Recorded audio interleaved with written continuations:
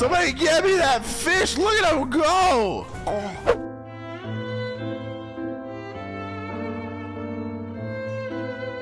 Jesus. Bruh. No. No. I really thought he was gonna help you, but no, you just can't help stupid people. You stupid. Wait, whoa, whoa. How do your legs bend like that? Bro, is your not ripped in half right now? Like, what is going on?